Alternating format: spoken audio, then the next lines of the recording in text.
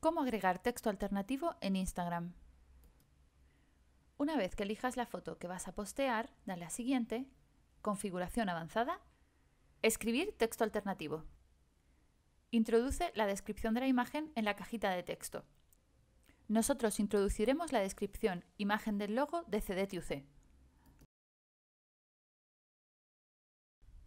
Una vez que termines de introducir la descripción, guárdalo y vuelve para publicar.